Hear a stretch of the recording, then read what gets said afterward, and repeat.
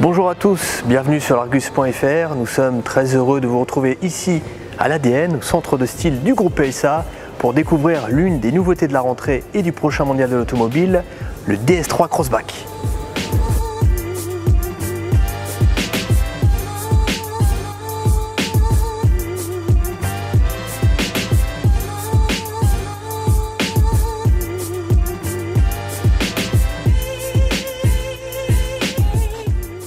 Après le DS7 Crossback l'année dernière, DS continue le déploiement de sa gamme avec l'arrivée de ce nouveau petit SUV.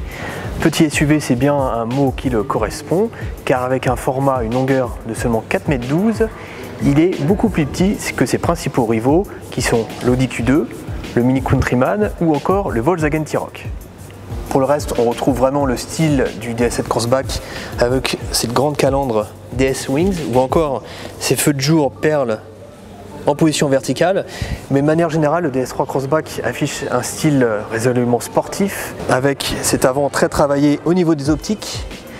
À l'arrière, on retrouve aussi certaines similitudes avec le DS7 Crossback, notamment au niveau de cette barre chromée ou encore de la forme des feux arrière. Sinon, le style est quand même bien agressif, encore une fois, avec ses écopes latérales ou encore cette double sortie d'échappement qui sera réservée aux versions les plus puissantes. Allez, venez avec moi, maintenant on va aller voir l'intérieur. Mais avant ça, je vais vous montrer un petit détail sympa sur le DS3 Crossback. Quand vous approchez les portières, vous voyez, vous avez des poignées de porte affleurantes. Ça, c'est vraiment sympa. Et voilà, bienvenue à bord du DS3 Crossback. Alors on voit, on a une planche de bord euh, très originale, notamment au niveau de la console centrale. Euh, c'est très travaillé au niveau des formes, du dessin. Euh, on n'a plus de boutons, tous les, boutons sont, tactiles. On a surtout un, grand écran tactile jusqu'à 10 pouces, une, instrumentation, donc des compteurs qui sont entièrement numériques. Et ça, ça sera de série. Sinon, on a quand même, on trouve pas mal d'éléments du DS7 Crossback euh, avec toutes ces commandes de vitres.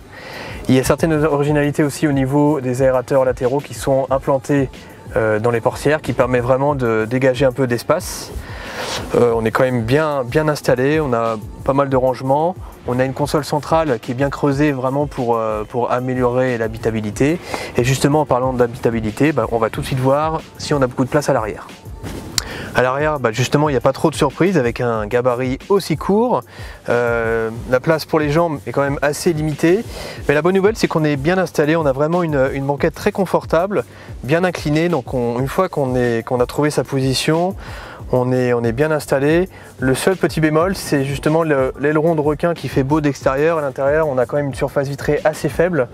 Euh, mais sinon, vu le gabarit, l'habitabilité est quand même correcte. À niveau équipement technologique, le DS3 Crossback n'est pas à la ramasse, il reprend de nombreux équipements déjà vus sur le DS7 Crossback.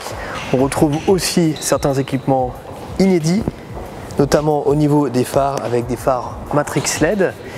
Et sous le capot, aussi des nouveautés, un nouveau moteur essence 3 cylindres de 155 chevaux qui sera euh, accompagné par des moteurs diesel et essence moins puissants. Mais la grande nouveauté aussi, c'est l'arrivée d'une version 100% électrique en fin d'année 2019 avec une autonomie annoncée à plus de 300 km. Voilà pour euh, cette première découverte du DS3 Crossback. Sur l'argus.fr, nous y reviendrons très prochainement. En attendant, vous pouvez nous donner euh, vos premières impressions, vos premiers avis sur ce nouveau petit SUV de DS dans les commentaires. Allez, à bientôt sur argus.fr. Ciao